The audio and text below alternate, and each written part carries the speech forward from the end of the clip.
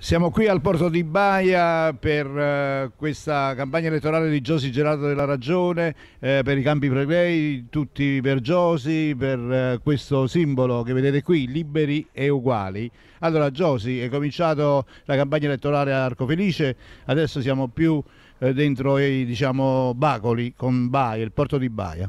Sì, stiamo toccando tutti i comuni del collegio che vanno da Marano ad Ischia. Stamattina siamo stati alla marcia per, per, la legalità contro ogni forma di violenza a Monteruscello con tantissimi studenti. Questa sera siamo a Baia. Il, diciamo il titolo di questo comizio, di questo convegno vuole essere dal turismo al lavoro. Quante volte i comuni si sono mascherati dietro la sovrintendenza per dire i, i beni archeologici sono chiusi perché è colpa loro, perché è colpa del sovrintendente, perché è colpa di altro. Bene, i sovrintendenti e la sovrintendenza sono un dipartimento del Ministero della Cultura. Attraverso il Parlamento, una presenza in Parlamento, possiamo finalmente mettere scacco matto a questa idea che i nostri tesori archeologici sono chiusi, non creano ricchezza, non creano lavoro e non creano occupazione. Vogliamo andare lì per ricordare al Parlamento italiano che esistono i campi flegrei, che da qui possiamo creare ricchezza, che da qui i giovani non devono più scappare e che soprattutto i nostri monumenti, che sono bellissimi, meravigliosi,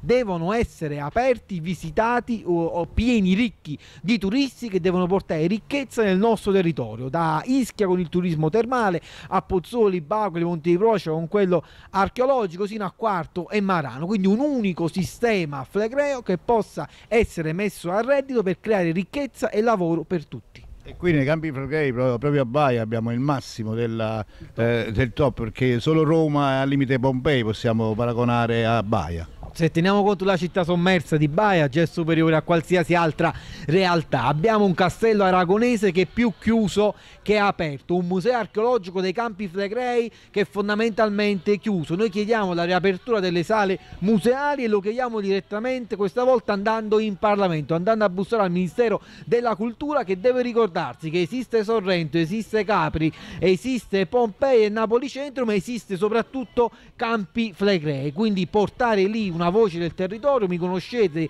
da dieci anni come consigliere comunale, sindaco, attivista, sono stato al servizio di questa terra e oggi voglio continuare ad esserlo portando la vostra voce, la rabbia dei giovanissimi che sono costretti a scappare via e la rabbia dei genitori e dei nonni che vedono i loro figli lontano soltanto in cartolina, portarla in Parlamento per continuare a cambiare le cose. Forza Campi Flegrei!